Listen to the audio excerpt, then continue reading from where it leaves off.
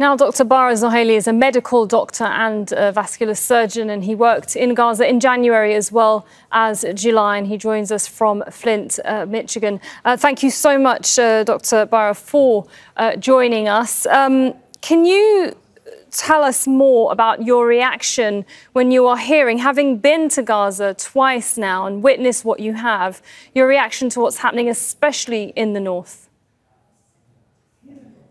I think people, for better or worse, we focus on the numbers. We talk about all the people who died or injured.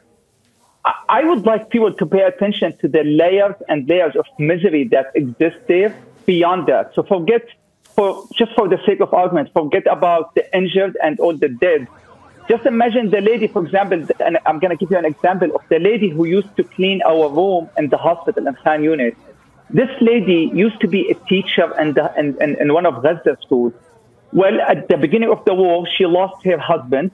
She lost her home. She has been displaced at least seven times so far. Multiple, multiple of her kids were injured during the war. And now she's working as a cleaning lady for us. Now, she doesn't have access to personal hygiene. She doesn't have any access to something as basic as water. She has to stand every morning for two, three hours before coming to the hospital to clean our room just to get water, just to cook something for her kids, who, by the way, are injured. And now also she has to figure out ways to take care of her injured kids who are on the verge of death because she doesn't have food. So this is this is the level of, of the layers of misery that we see over and over and over. And those are the numbers that we don't really talk about because we're just focused on the death and injury. But honestly, the levels of misery goes way beyond that. Mm. I mean, we see these images day in, day out, absolutely uh, horrific, traumatizing to those that are seeing it, let alone those that are, are living it. Can you talk us through uh, what a day looked like for you as a doctor in the Gaza Strip, in one of the worst humanitarian situations in modern history? So anytime we can literally hear the bombardment and we can see the smoke coming out of the bombardment place, but believe it or not, we couldn't get any of those injured in that bombardment for another, sometimes five, sometimes to 12 hours after the injury, simply because the Israeli army wouldn't let any ambulance get close to that area. So very often, you would have someone who was injured, who lost his or her leg eight hours ago, and he or she, most of the time a kid under the age of eight, has been bleeding, has been trying to stop the bleeding for the last eight hours before someone could get to him or her to bring them to the hospital. So for us, anytime we hear a bombardment, we know that we're going to get an influx of mass casualties five to eight hours later. And by the time they come to us, most of them have already died. Most of them have already lost limbs. Most of them have already been suffering and literally bleeding for many hours before they get to us. And even when they get to us, it's not like they have reached heaven. We have to make a decision who's getting our attention because we only have very limited resources of who's getting the attention. So most of the time, we let some of them pass away in front of us. We let them literally scream to death and then we get our attention to few of them that we can think that we can give them a chance of living. Doctor, it sounds like you are having to make decisions, some very incredibly difficult decisions over who lives and who dies.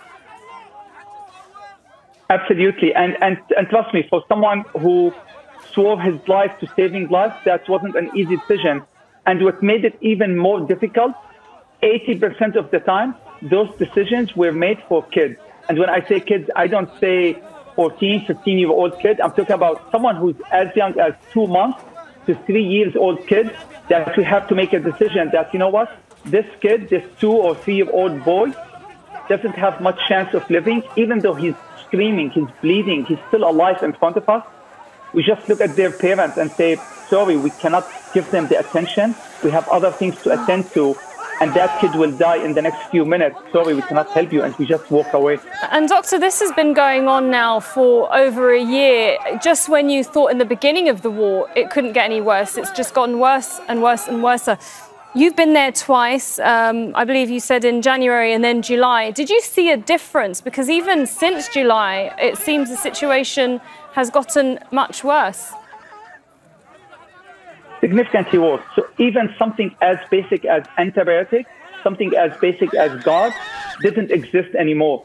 And the report that, was just mentioned a few minutes ago, when he said he could smell the blood all over, that was the reality. Next, um, in Khan Yunis, in Nasser Hospital, anytime you walk to the emergency room, the smell of blood was unbearable simply because they don't even have soap. Just something as simple as soap or detergent didn't even exist in the hospital. So all the blood that has been rotten on the floor, you can smell it from, from a distance because they just don't have basic supplies to clean the blood from the floor. And uh, doctor, how did you cope? How do the medical staff cope under such horrific conditions? Um, it's obviously difficult for people in Gaza, but as someone that's been in and out, how are you coping even now? It, it wasn't easy, but honestly, what I get my strength is from the local people of Gaza.